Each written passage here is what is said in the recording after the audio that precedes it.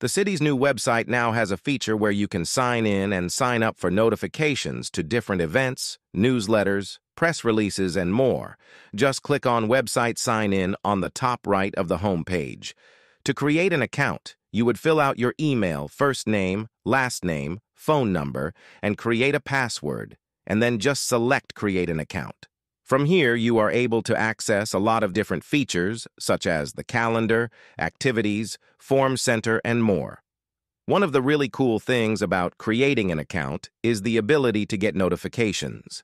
If you wanted to be notified every time there was a certain meeting, you can subscribe via email or an SMS message.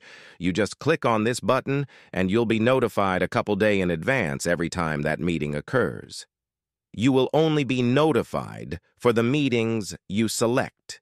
You can also be notified for alerts such as a boil water advisory or City Hall is going to be closed. Again, just click on the SMS or email button.